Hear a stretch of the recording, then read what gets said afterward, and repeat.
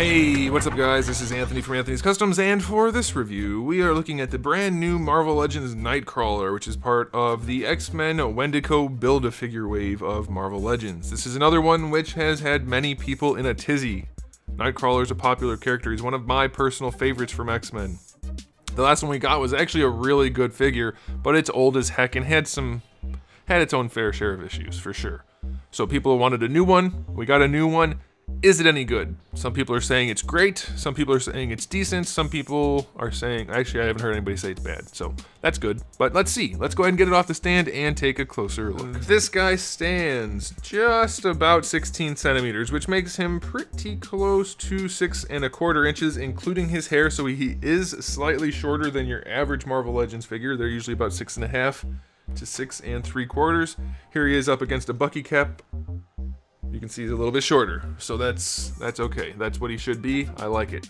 Overall, first impression of the figure, I love the overall build. It's very nice. It suits him nicely, really good proportions. I like. I don't like the crotch gap.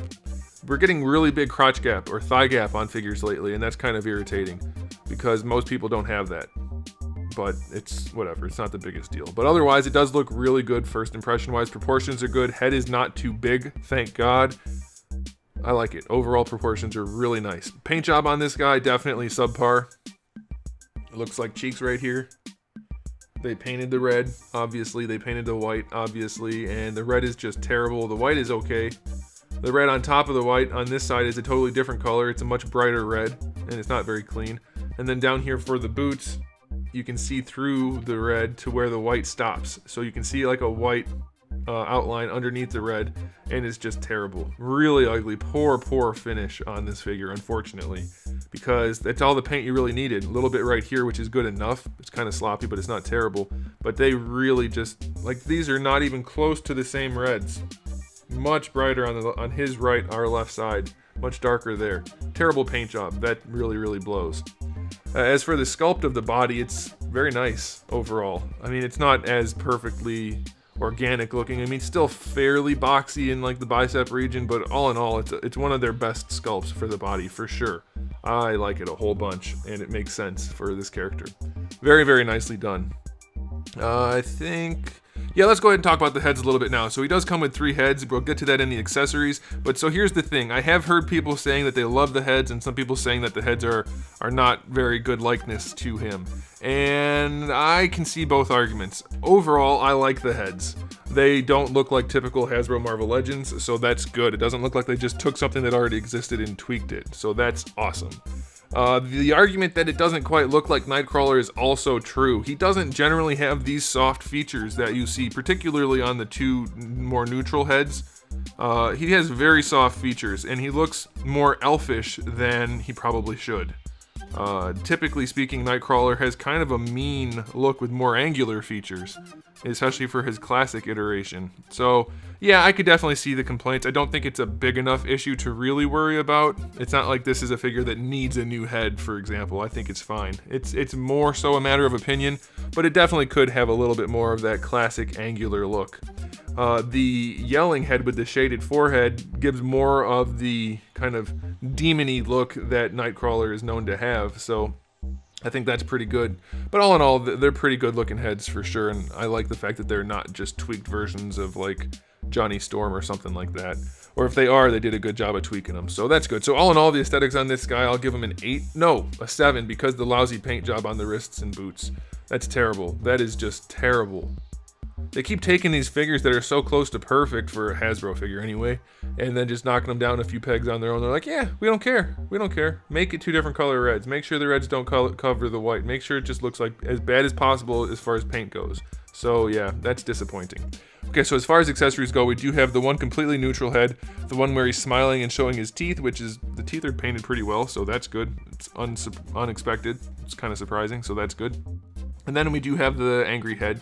Uh, I guess the eyes are a little wide on some of the heads, like the, all but the neutral head, the eyes look a little bit wide, but not terrible. Overall, pretty good heads. We do have a total of three hands. We have the two relaxed hands, then we have one sword gripping hand, which has the vertical joint, so that is awesome. And then we do have his sword, which is done very nicely. The handle is nice and gold. The sword is nice and silver. and that's nice. So accessory-wise, this guy gets a 9, an 8 out of 10. An 8 out of 10, because, because the, uh, no, accessory wise, this guy gets a 9 out of 10. We could use some fist hands or something like that, but otherwise, it's a pretty solid batch of accessories, so that's pretty good. Or like a poof, a bamf. We should probably have a bamf accessory. So that's, you know, could be could be better. Okay, now for the articulation. The head is what you would expect. We have our hinged ball peg at the top. Luckily though, like I said, the heads don't sit too high, but we do get a little bit of play on there. It's amazing how you don't have to have a lollipop to have functional articulation. Like it leans side to side on the ball, rotates of course, and it leans all the way back and all the way forward. It's a, it's a it's a miracle, Hasbro. It's a miracle. These guys are not as soft as they could be, so they will impede articulation significantly. But you do get full rotation, obviously, otherwise. Raising the shoulder goes better than horizontal, so that's nice. There is a butterfly joint in here, but it is all but worthless. It doesn't do anything. It doesn't feel like mine's stuck, it just doesn't have anywhere to go. So that kind of sucks. You do get a bicep swivel, double jointed elbow works nicely. That's pretty good. Wrists have a swivel and a hinge, of course ab joint diaphragm or ab crunch is pretty good. Look, they don't have that weird pot belly thing anywhere near as much as they have in the past, which means they don't have to do that. It still has it a little bit, but it's not anywhere near as bad. So you get really good range out of it. Now it's more noticeable on the back, but I'll, I'll allow that. Very nice ab crunch. Waist twist is fine. The tail can rotate, so that's really good. But here's the problem with the tail, and this is just a really stupid problem to have. Why do they have it wrapping around the front? Why do they have the tail wrapping around the front of the figure? It's like it sticks between his legs if you put it in the middle. It's just don't don't make it come around the front. It gets in the way of posing. It just doesn't make well don't just don't do that. Make it bendable or just sculpt it in a more neutral pose. Like this. Just sculpt it like that. Have it go down and curve so that it's behind him. You can still rotate it around. What's the benefit of having it stick forward? You know what I mean? Like, that's just a stupid problem to have. It's in the way for no reason at all. I mean, it's a decent sculpt. It's not like they made it too thick or anything. It looks good, but it's just it's just a silly issue. I don't I don't get why that kind of stuff happens. It's just not considered, I guess. Hips have great range going out to the side. That's exceptional. Going forward, not as far. Almost horizontal, but not quite. So that's a bit of an issue. Going back is fine. Thigh swivel is fine. Double jointed knee is fine. Ankle goes all the way back and all the way forward. That's good. We have a really offset ankle rocker, though. That swivel hinge is very crooked. And the ankle joints themselves are very crooked. Look, that tail's in the way again. Look, it was there. You saw me have to move it. It's a dumb design. So, look at the ankle joints. They are angled. Why? So that when you go like this and then rock the foot, it helps a little? I don't think so. It doesn't. Why are the ankles angled? That's just a silly thing to do too. What the heck? Alright, whatever. Articulation-wise, this figure is mostly really good. Mostly really good. I'll give it an 8.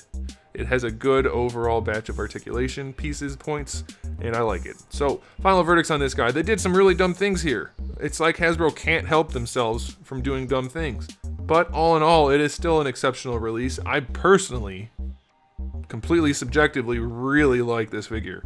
I would go as far as to say I love it, but that's, like I said, purely subjective because I like Nightcrawler and they didn't totally ruin it. But objectively, it's still a really strong release. Very, very nice. A few stupid issues, but things you can probably look past if I had to say, and I think you guys will like it. So, final verdict is 8 out of 10. Very, very strong release with some very stupid issues, and that'll do it. Let me know what you guys think about this figure in the comment section below, and if you haven't subscribed, you might want to do it. I have new videos out just about every single day, and thousands already on the channel just waiting for you to watch them. So, make sure you come back for all of that, and in the meantime, keep collecting.